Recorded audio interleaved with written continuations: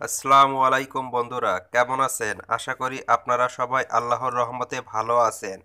ইসলামে শিশুর নাম রাখা সন্তানের অধিকার বলে উল্লেখ করা হয়েছে। শিশুর জন্য সুন্দর নাম নির্বাচন করা বাবা মায়ের অন্যতম দায়িত্ব এবং কর্তব্য। কেননা রাসুল সাল্লাহ সাল্লাম অনেক অসুন্দর নামের পরিবর্তন করে দিয়েছিলেন। বাজে, অর্থহীন নাম তিনি পছন্দ করতেন না। তাই আমাদের উচিত সুন্দর অর্থবহ নাম রাখা। তাই আজকে আমরাই আবিদা নামের অর্থ নিয়ে আপনাদের মাঝে হাজির হয়েছি।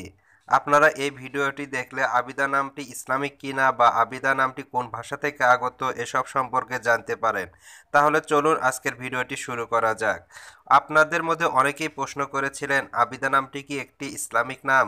আমি তাদের উদ্দেশ্যে বলছি, জি বন্ধুরা, আবিদা নামটি একটি ইসলামিক নাম। আবিদা নামটি ইংরেজি ভাষায় সাধারণত এভাবে লেখা হয়ে থাকে, এ, বি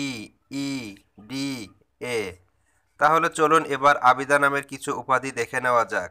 আবিদা খাতুন, আবিদা আক্তার, আবিদা জাহান, আবিদা বেগম। আবিদা জান্নাত, আবিদা ইবনাত, আবিনা তাসনিম, আবিদা সুলতানা। বন্ধুরা, আবিদা নামের অর্থ এবার দেখে নেওয়া যাক। আবিদা নামের অর্থ হচ্ছে ইবাদতকারিণী। আবিদা নামের অর্থ হচ্ছে ইবাদতকারিণী।